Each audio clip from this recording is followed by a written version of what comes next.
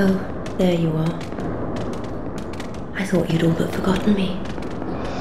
How sweet. Good to know that a skinny little heretic can still turn heads.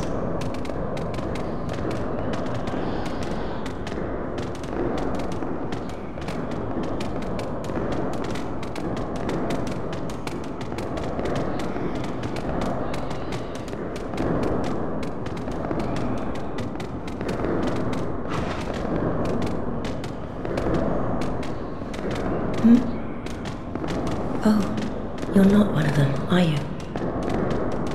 Accept my apologies for mistaking you for one of those leeches. So, what business have you here? This is a land of monstrosities, and I am no exception. You're here to save me, but I'm guilty. A wretched child of the abyss. Is that something you can forgive? Oh, really? You are no ordinary man. Very well. Besides, I've grown tired of imprisonment.